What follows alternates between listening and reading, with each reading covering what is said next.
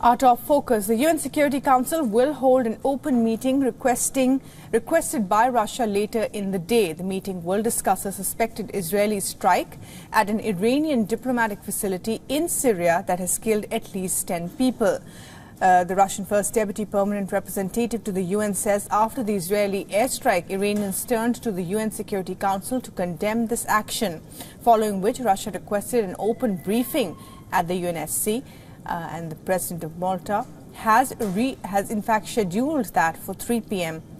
New York time or 7 p.m. GMT. In a major escalation in West Asia, suspected Israeli warplanes bombed Iran's embassy in Syria on Monday. Seven of Iran's military advisors and three senior commanders have been killed in these strikes. Israel has long targeted Iran's military installations in Syria and those of its proxies.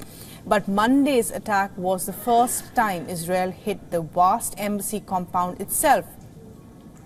Some media reports have cited unnamed Israeli officials who have acknowledged the attack. However, Israeli military has not commented on the reports.